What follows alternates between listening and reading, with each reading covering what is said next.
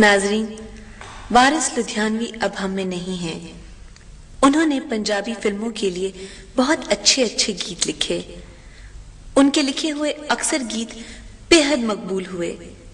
मलिका तरन्नुम नूरजहान कहती हैं, तनवीर नकवी हजी कादरी, मुशीर काजमी और ऐसे कई नामवर शायर जिन्होंने पंजाबी के बहुत अच्छे गीत लिखे।